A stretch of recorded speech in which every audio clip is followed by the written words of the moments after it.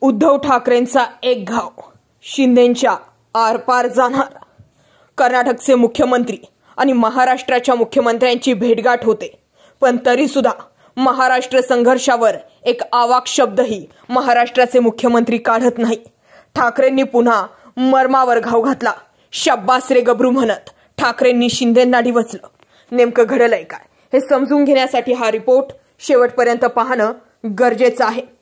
यामध्ये घडलंय असं की समृद्धी महामार्ग उद्घाटनाच्या कार्यक्रमात पंतप्रधान नरेंद्र मोदी यांनी मुख्यमंत्री एकनाथ शिंदेची पाठ थोपटली.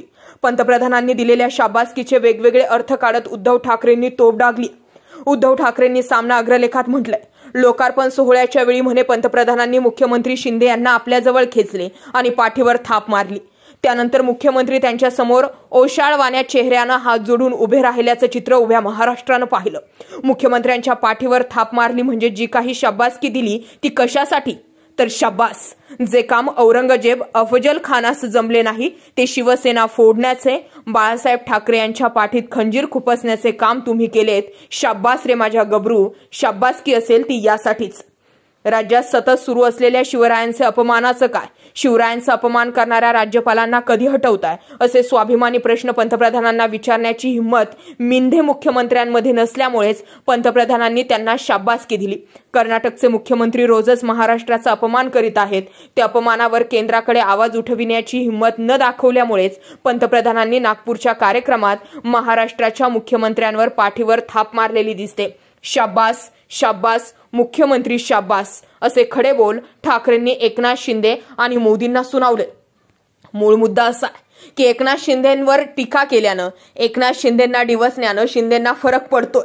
कारण आजच्या घडीला ठाकरे जे बोलतायत त्या बोलण्याचे वेगवेगळे अर्थ लावले जात आहेत.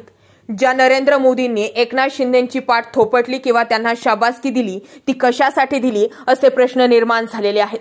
मूळ म्हणजे याच व्यासपीठावर राज्यपाल भगतसिंग कोश्यारी देखील होते. भगतसिंग कोश्यारींनी केलेल्या वक्तव्याबाबत एकनाथ शिंदे यांनी नरेंद्र मोदी यांच्याशी बोलायला हवं होतं.